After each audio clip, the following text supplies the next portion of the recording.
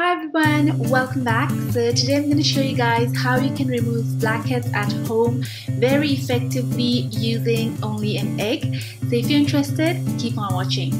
So for this mask you're going to need an egg and some tissues and you're only going to be needing the egg white so just separate the yolk from the egg Next I'm just giving a slight whisk to the egg because I want it to be a little bit frothy and that way it's more easier to apply it onto your skin. Next I'm starting with a clean fresh face and here I'm just taking a hot washcloth and placing that over my pore areas because I really want the heat to open up my pores because that way the mask will sink in deeper within the pores and remove all the gunk from there. So yeah, just place it for about a minute or so. Then I'm dipping my old foundation brush in the egg white and just brushing that all over the areas where I tend to get blackheads normally. So I'm doing that on my nose and on the sides of my nose. Then I'm taking a single ply tissue paper and then just tearing them apart in a few random pieces like so.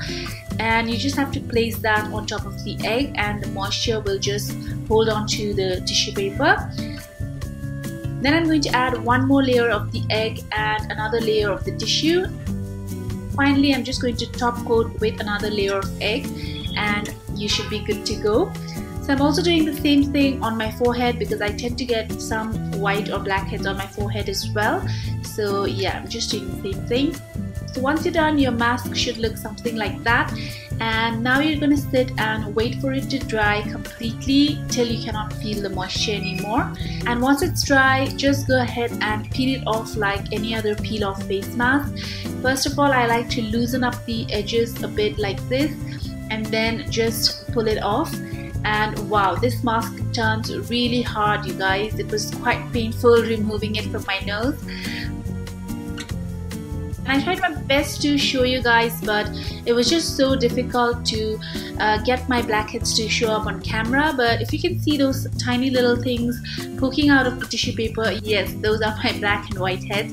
So I can literally see them like with my naked eyes but I just can't get it to show up on camera. So my skin is feeling super super clean but at the same time it's feeling quite dry. So I'm gonna go ahead and close all those open pores by using my rose water as a toner and then I'm going to go ahead and moisturize my face and that's about it. So yeah I hope you enjoyed this simple DIY blackhead removing mask. If you did don't forget to like this video and subscribe to my channel for more DIYs like this. I will see you all in my next one. Bye